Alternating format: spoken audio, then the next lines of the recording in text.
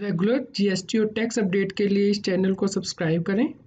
Friends आप TDS income tax GST और accounting software और डिटेल के साथ कॉम्प्लायंस आसानी से कर सकते हैं। इन सॉफ्टवेयर के डेमो देखने के लिए आप हमें मोबाइल नंबर के साथ ईमेल कर दीजिए taxheal at the rate G mail dot com पर। नमस्कार दोस्तों इनकम टैक्स डिपार्टमेंट के द्वारा तीन डेट्स एक्सटेंड की गई हैं कोविड नाइन्टीन पेंडेमिक की वजह से। सबसे पहली डेट जो एक्सटेंड की गई है, वो आधार नंबर को पैन के साथ लिंक करने की डेट एक्सटेंड की गई है। पहले यह डेट थर्टी सितंबर 2021 थी।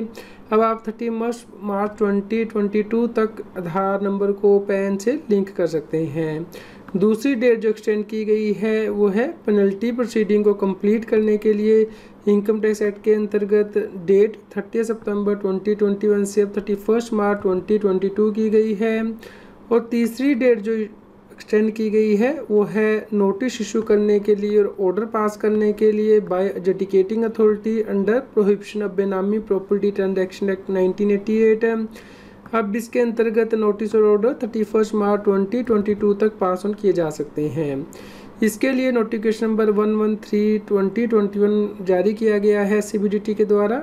डेटेड सेवनटीन सितंबर ट्वेंटी ट्वेंटी वन यह नोटिफिकेशन वन वन थ्री जो कि गवर्नमेंट के द्वारा इशू किया गया है, जिसके द्वारा के बताया गया है कि अब आप आधार को पेन से लिंक कर सकते हैं thirty first March twenty twenty two तक। और इनकम टैक्स एक्ट के अंतर्गत जो पेनल्टी को इम्पोज करने के लिए ऑर्डर पास करना है, उसे भी assessing officer thirty first March twenty twenty two तक कर सकता है।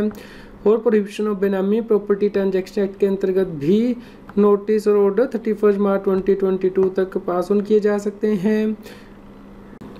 दोस्तों इनकम टैक्स एक्ट में section ten sub section twenty six दिया गया है, जो कि बताता है कि किन शेड्यूल ट्राइब की इनकम जो है वो एग्जाम्ट है, यानी कि जो शेड्यूल ट्राइब कॉन्स्टिट्यूशन के आर्टिकल 366 के क्लोज 25 में डिफाइन किए गए हैं और वो और वो रिजाइडिंग करे किसी भी एरिया में जो कि स्पेसिफाई किया गया है part one and part two में टेबल में of the six schedule of the constitution paragraph number twenty या फिर स्टेट ऑफ़ अरुणाचल प्रदेश मणिपुर मिजोरम नागालैंड त्रिपुरा या फिर असम में है या फिर लद्दाख में है तो उस केस में उनकी इनकम एग्जाम्ट है। यदि इनकम उन्हें अराइज होती है किसी भी सोर्स से इन द एरियाज़ और द स्टेट्स एफ्रोसेड और बाय वे ऑफ़ डिविडेंड और इंटरेस्ट ऑन सिक्योरिटीज़ अब इनकम टैक्स डिपार्टमेंट के द्वारा notification number hundred ten oblique twenty twenty one जारी किया गया है, जिसमें कि बताया गया है कि कोई टीडीएस नहीं काटा जाएगा। Section one ninety four A के अंतर्गत यदि पेमेंट की जाती है शेड्यूल्ड बैंक के द्वारा